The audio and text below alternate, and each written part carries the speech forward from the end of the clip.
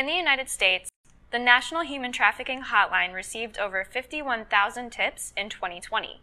According to the International Labor Organization, or ILO, almost 50 million people were living in modern slavery in 2021. It's safe to say that human trafficking is a global pandemic that affects people from all over the world and is growing in size every year.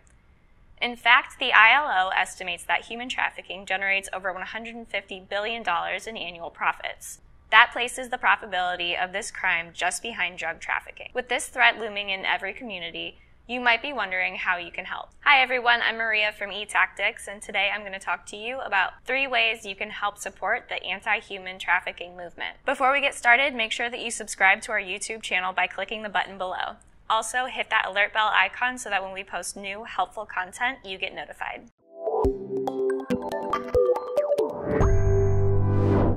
Knowledge is power, and this applies to human trafficking too. Being aware of potentially dangerous situations or the warning signs that someone is being trafficked could save a life. But make sure you are getting your information from reliable sources.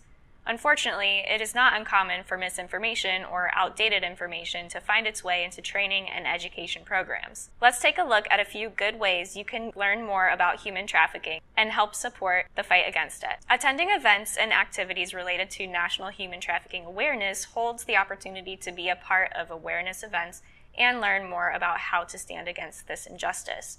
The events can range from educational workshops to full fledged awareness campaigns each of which exists to educate people about human trafficking as well as provide support to survivors. While we're on the topic of helpful organizations, the majority of them are nonprofits. Of course, the caveat with nonprofits is just that. They're not operating to increase their bottom line revenue.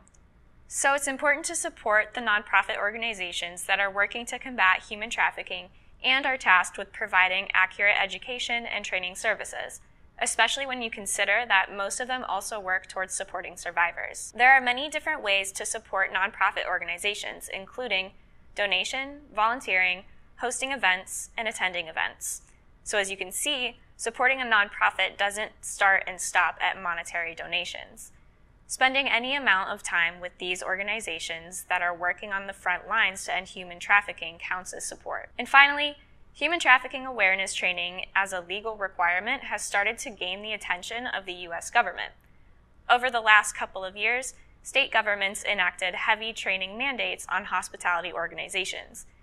These mandates include training employees on human trafficking awareness on an annual basis. Meanwhile, the government is getting ready to enact similar requirements for additional industries too. In fact, Michigan already has a human trafficking training requirement for nurses aspiring to receive their licenses. Training programs offered to employees, especially those who work on the front lines, can provide the education needed to recognize and assist a victim. With this month being Human Trafficking Awareness Month, taking the opportunity to educate people about the signs of human trafficking is a great start in the fight against it.